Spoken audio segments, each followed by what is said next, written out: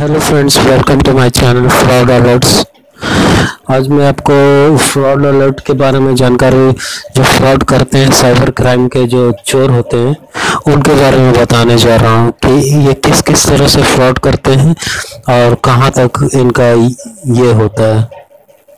तो ये जो बेसिकली ये लोग जो होते हैं, ये जामताड़ा और झारखंड के ही सीखने, सीख के यहीं पे करने लगते हैं।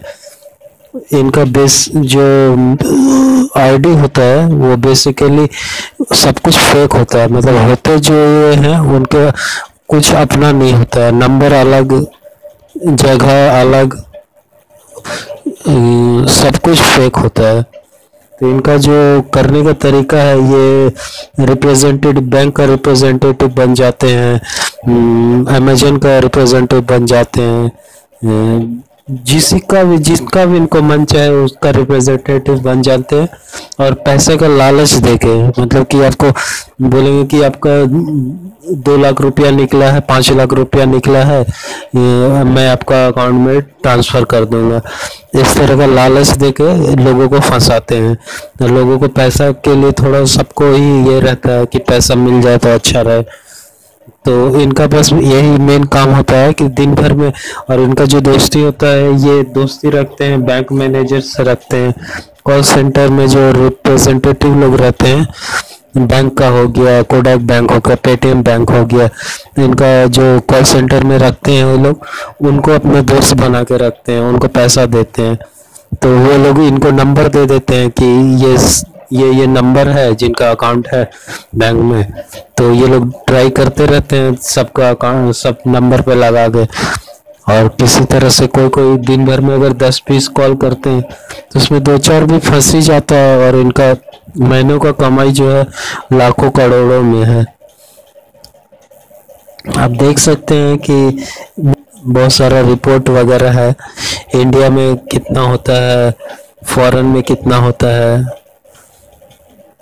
ये सब जानकारी आप पढ़ सकते हैं वेबसाइट में। और इनका कोई इलाज नहीं है मैंने इनका कोई सोल्यूशन नहीं, नहीं गवर्नमेंट के पास भी इसका कोई डिजिटल इंडिया तो कर दिए लेकिन डिजिटल फ्रॉड जो होता है उसके लिए कोई विशेष कानून वगैरह ऐसा कुछ नहीं बनाए हैं। अगर इनको मान लीजिए आपको दस लाख पाँच लाख रुपया लेके ये पकड़े भी जाए ऐसे पकड़े नहीं जाते हैं ज़्यादातर। पकड़े भी जाए तो इन केस बनेगा और इनको तीन साल से पाँच साल का ही सज़ा होता है। उसके बाद फिर ये छूट जाते हैं। तो इनसे बचने का बस यही एक साधन है कि अपने अलर्ट रहिए। पैसा का कोई लालच दे कि आपका दस हज़ार निकला है पाँच हज़ार निकला है उसमें ना पड़े, क्योंकि उसके बाद ये लोग आपसे धीरे धीरे आपका पूरा bank ID phone number Aadhaar number सब लेके आपका बैंक का पैसा उड़ा देते हैं। और इनका बोलने का तरीका वगैरह सब भी बहुत अच्छा होता है, क्योंकि ये लोग रिप्रेजेंटेटिव जो रहते हैं कॉल सेंटर के वो लोग भी काम करने लगते हैं इनके साथ मिलके।